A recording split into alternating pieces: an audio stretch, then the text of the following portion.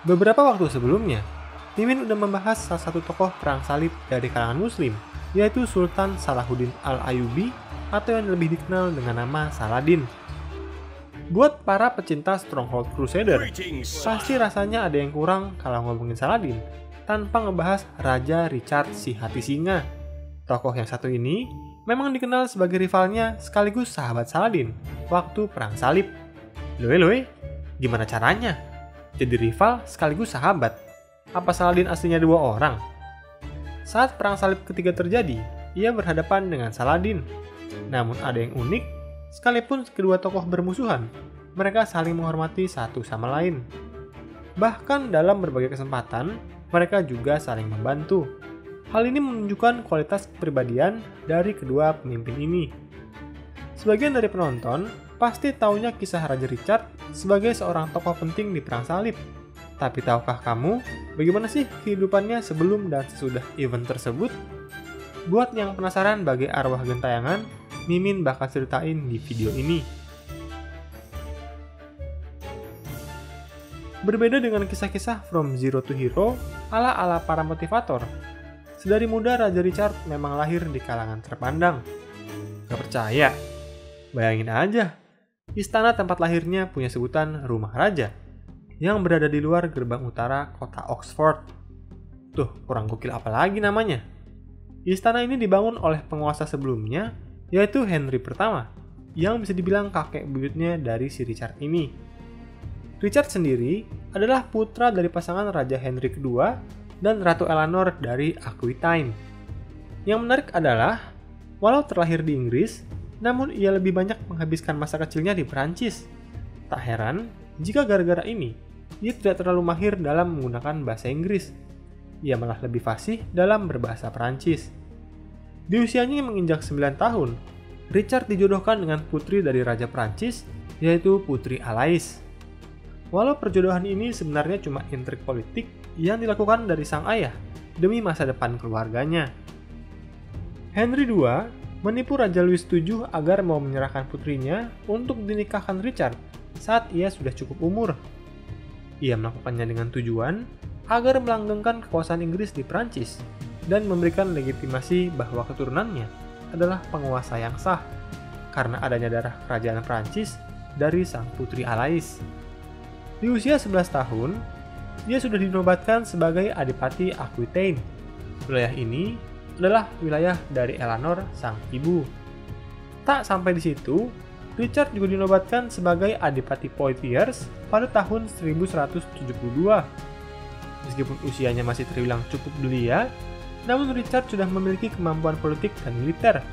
Sebagai seorang satria, dia dengan cepat mendapat ketenaran karena kemampuannya. Sedangkan di dunia politik, dia belajar dengan cepat, mengandalkan masalah aristokrat, khususnya di wilayah Poitou dan Gascony. Tahun berikutnya, setelah dinobatkan sebagai Adipati Poitiers, ia memberontak kepada ayahnya dengan bergabung bersama saudaranya, sang Raja Muda Henry dan Geoffrey, dalam pemberontakan yang terjadi pada tahun 1173 hingga 1174. Pemberontakan ini dipicu oleh invasi yang dilakukan oleh Henry II terhadap wilayah Aquitaine, di mana Richard menjabat sebagai adipati. Wilayah ini adalah wilayah kekuasaan milik sang ibu, yang di mana Henry melakukan invasi sebanyak dua kali. Pemberontakannya pun gagal, dan dirinya ditangkap Walau akhirnya mendapat pengampunan, namun sang ibu, Eleanor, ditangkap karena dianggap mengasut anak-anaknya agar memberontak kepada Henry II. Richard pun diberi sebuah istana di Poitou dan separuh pendapatan dari Aquitaine. Raja muda Henry kemudian diberi istana di wilayah Normandia dan Geoffrey mendapatkan setengah dari wilayah Britani. Walau menerima pengampunan dan hadiah dari ayahnya, keinginannya untuk memberontak tetap tidak hilang Beberapa waktu kemudian, ia kembali memimpin gerakan pemberontakan di wilayah Aquitaine. Sikapnya yang keras dan terus melakukan pemberontakan tidak disukai oleh rakyat Gascons, yang akhirnya malah rakyat Gascon lah yang melakukan pemberontakan melawan Richard di tahun 1183.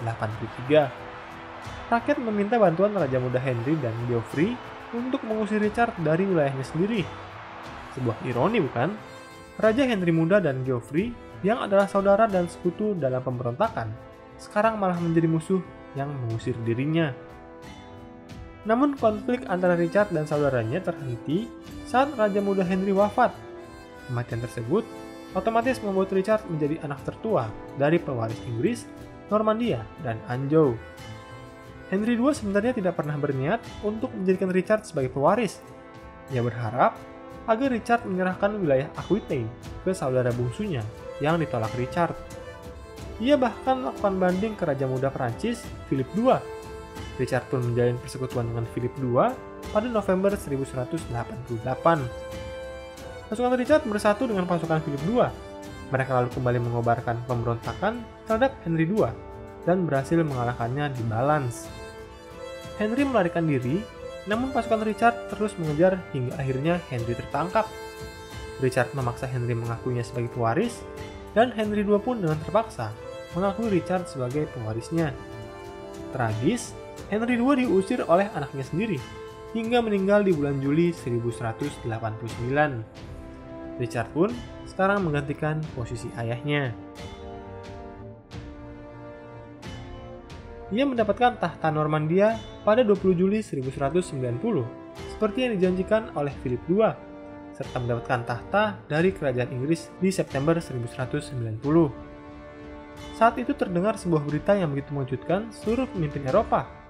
Kota Yerusalem yang sebelumnya direbut oleh pasukan salib dan bertahun-tahun diperintah penguasa Eropa, kali ini kembali jatuh ke tangan Saladin. Hal ini membuat Sri Paus yang berkuasa langsung menyerukan perang salib kembali yang lebih dikenal dengan nama Perang Salib Ketiga. Perang salib kali ini bisa dibilang yang paling unik dari segi pemimpinnya. Karena yang berperang bukanlah rakyat jelata, ksatria, atau bangsawan rendah. Namun kali ini, perang dipimpin langsung oleh tiga penguasa besar, yaitu Jerman, Inggris, dan Prancis. Mungkin kalian penasaran, kenapa sih seruan perang salib sangat menarik para bangsawan dan penguasa Eropa? Singkatnya karena para pemimpin ini menyadari bahwa dosanya sudah terlalu banyak Pikiran-pikiran seperti pergi berperang untuk merebut Yerusalem mungkin bisa membersihkan dosa mereka. Tentu sangat menarik ingat para pemimpin ini. Toh, bukankah selama hidupnya bisa dibilang para pemimpin Eropa ini penuh dengan darah karena hobinya perang dan bersiasat, saling menjatuhkan atau membunuh satu sama lain? Jelas pengampunan dosa lewat cara-cara yang paling mereka kuasai ini menjadi gagasan yang sangat menarik. Selain itu harus diingat bahwa hubungan antara Eropa Barat dan dunia Arab tidak sehangat hari ini. Kedua pihak dipenuhi prasangka buruk yang saling curiga satu sama lain. Tidak heran jika ketegangan kedua kubu semakin meruncing mengingat lokasi yang diperebutkan juga dianggap suci oleh kedua pihak. Misalnya bagi Richard, ambisinya untuk menjadi komandan tentara salib tidak terlepas dari kabar kemenangan Salahuddin dalam merebut Yerusalem di tahun 1187 Hal ini menjadi pemicu utama bagi Raja Richard untuk menjadi komandan pasukan salib. Sekalipun itu artinya ia harus berani dan rela meninggalkan semua harta dan kekuasaannya di Inggris sana. Sedangkan di sisi lain, Richard bisa dibilang tidak memiliki rencana apa pun bagi kerajaan Inggris. Ia tidak memiliki konsep perencanaan bagi kerajaannya, seperti sang ayah sebelumnya. Bahkan semua harta milik ayahnya dijual guna membangun kekuatan tentara salib di bawah pimpinannya. tahun 1190, ia akhirnya bisa mewujudkan keinginannya dengan berangkat ke kota Yerusalem.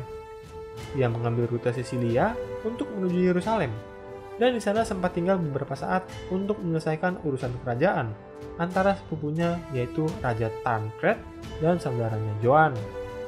Dalam hal ini, Richard menuntut agar warisan yang diberikan suami Joan, Raja Sisilia sebelumnya, dapat diberikan kepada Joan. Dari permasalahan ini, kelak muncul konspirasi yang dilakukan oleh Philip bersama Raja Tancred untuk mengkhianati Richard.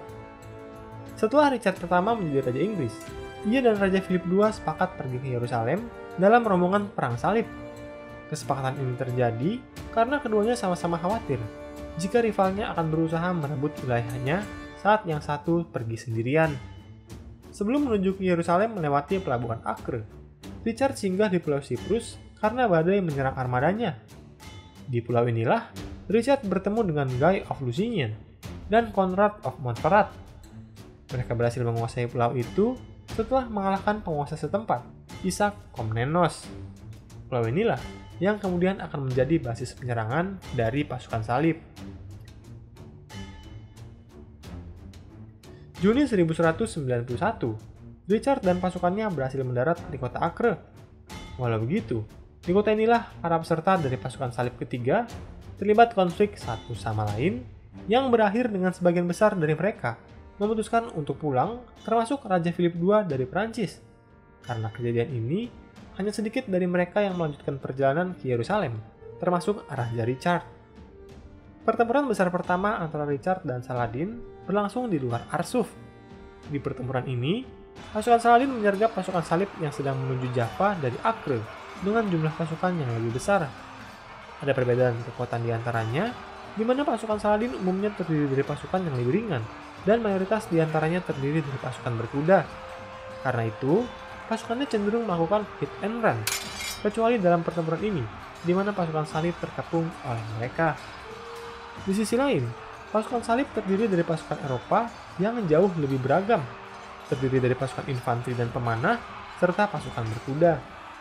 Dibanding pasukan Saladin, pasukan salib memiliki perlengkapan yang lebih berat, mereka juga dibentuk dalam formasi rapat untuk menghadapi serangan hit and run, di mana prajuritnya terus dirotasi sehingga yang berada di garis depan adalah pasukan yang masih fresh. Baha al-Din menjelaskan kondisi saat itu dengan berkata bahwa pasukan muslim menyerang pasukan salib dengan begitu banyak panah dari berbagai arah. Dia bahkan melihat ada satu hingga sepuluh anak panah yang menempel di jirah pasukan salib. Namun uniknya, mereka seperti tidak kesakitan. Di lain pihak, saat pasukan Stalin tertembak, biasanya malah berakibat dengan sangat fatal. Saat pertempuran, awalnya pasukan Saladin mampu unggul, namun secara mengejutkan, pasukan Salib mengalahkannya dan memaksa Saladin mundur. Namun keesokan harinya, pasukan Saladin berhasil membalas kekalahan dan menggagalkan upaya Richard merebut Yerusalem. Ada kejadian menarik saat Richard dan Salahuddin terlibat dalam pertempuran. Meskipun di medan pertempuran mereka saling serang, namun mereka ternyata saling menghormati satu sama lain. Saladin sempat memberi Richard seekor kuda baru saat kudanya kelelahan dalam pertempuran. Hal ini dibalas oleh Richard dengan cara membunuh seorang pengkhianat di kalangan pasukan Saladin yang mencoba mengkhianati dirinya. Richard mengirim kepala pengkhianat tersebut, lalu dikirim ke Saladin dengan sepucuk surat yang bertuliskan, Aku tidak ingin orang ini mengacaukan permainan kecil kita. Tidak sampai di situ, Richard pernah menunda pertempuran saat mengetahui bahwa pedang Salahuddin sedang tumpul. Di satu sisi, saat Saladin tahu bahwa Richard sedang sakit, ia mengirim tabib terbaiknya untuk mengobati Richard. Di lain kesempatan, kedua musuh sekaligus sahabat ini juga saling bertukar nasihat. Namun, beberapa faktor harus mengakhiri kisah kedua satria ini. Cuaca yang buruk, kurangnya pasukan, serta penyakit yang diderita Richard membuat dirinya mengajukan gencatan senjata, lalu berlayar kembali ke Inggris. Ternyata Richard memiliki banyak musuh di Eropa. Oleh karena itu, Richard menyamar sebagai tentara salib. Dalam perjalanan, kapal yang ditumpanginya tersapu badai dan terlempar di dekat Venesia. Setelah itu, nasib Richard semakin sial. Ia ditangkap di Wina oleh Raja Austria dan diserahkan ke Kaisar Suci Romawi Henry VI. Meskipun sedang dalam tahanan, Richard tidak mau tunduk. Ia mengatakan bahwa dirinya terlahir dari pangkat yang tidak mengenal atasan lain selain Tuhan. Di bawah ancaman Philip II, akhirnya kerajaan Inggris yang khawatir kondisi penguasanya setuju membayarkan sebanyak 150.000 mark serta menyerahkan kerajaannya di bawah Henry VI. Richard pun bebas dan dapat kembali ke Inggris, di mana ia disambut sebagai pahlawan serta dinobatkan dua kalinya sebagai raja mereka. Meski ia tidak berhasil merebut Yerusalem dari Saladin, ia berhasil merebut kota penting lain di Tanah Suci. Setelah kembali menjabat sebagai Raja Inggris, ia akan membuat perhitungan dengan Philip II yang dirasa telah mengkhianatinya. Ia pun pergi ke Normandia dan lima tahun terakhir dalam hidupnya dihabiskan untuk bertempur melawan Philip. Di hari nahas itu, ia agak ceroboh dengan tidak menggunakan rompi pelindung, di mana ia akhirnya tertusuk oleh panah beracun dalam pengepungan kastil halus. Richard pun wafat di usia yang relatif muda, 42 tahun, pada 1199. Jasadnya dimakamkan di gereja Fontevraud, tempat di mana Raja Henry II dan Ratu Eleanor juga dimakamkan. Richard yang hidupnya terus bertarung tidak sempat memiliki keturunan hingga akhir hayatnya, yang membuatnya diberi gelar The Lionheart. Keberanian dan persahabatannya dengan Saladin selalu dikenang sampai saat ini. Nah, apakah pendapatmu mengenai sosok Raja Richard si hati singa? Siapa lagi nih tokoh yang menurutmu menarik untuk dibahas dalam seri Perang Salib? Yuk share di kolom komentar. Hai, terima kasih sudah menonton dan belajar sejarah bersama Inspek History. Jangan ragu untuk berikan komentar, like, dan bagikan bila kamu merasa konten ini bermanfaat.